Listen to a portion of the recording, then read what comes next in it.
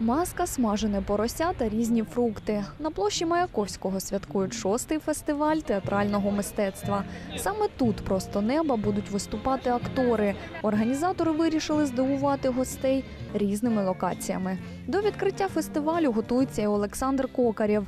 Він актор муніципального театру лабораторії Вій Грає головного негативного героя у постановці Кольоровий сон птаха.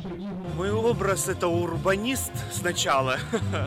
вот, то есть это чел- э, такой персонаж, который не любит свет, все для него черное, серое.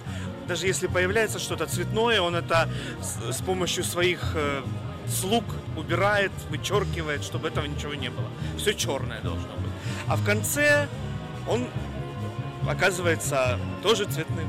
І ось урочисте відкриття. Після нього на сцені з'являються наймолодші учасники фестивалю, показують свою акторську майстерність у вигляді майстер-класу.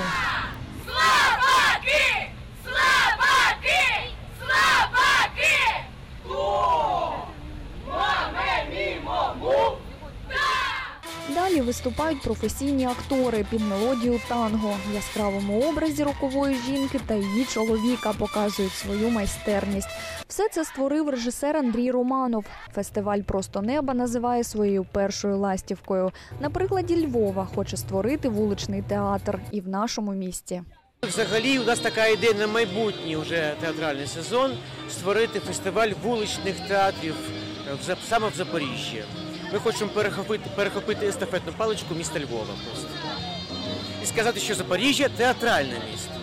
Фестиваль закінчився вуличною виставою Кольоровий сон птаха. Він розповідає про те, що у світі не може бути все чорно-білим, все має свій колір, і ніхто не може нав'язувати іншій людині свої думки.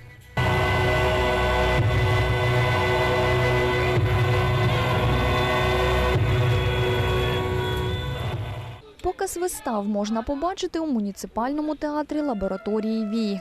Там протягом дев'яти днів глядачі зможуть насолодитись акторською майстерністю.